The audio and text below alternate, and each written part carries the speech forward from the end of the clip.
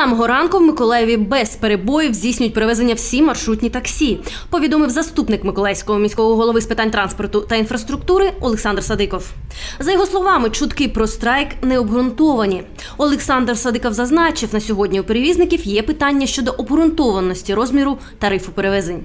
На думку представників транспортних компаній, вартість слід підвищити до 9 гривень.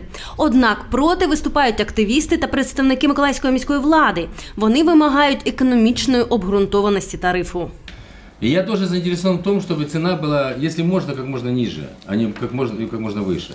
Не дійшовши згоди, перевізники, активісти та представники міської влади домовились зустрітися 8 лютого за зачиненими дверима, аби вирахувати обґрунтовану вартість тарифу перевезень. Ганна Звонецька, Сергій Єрмаков, МСН.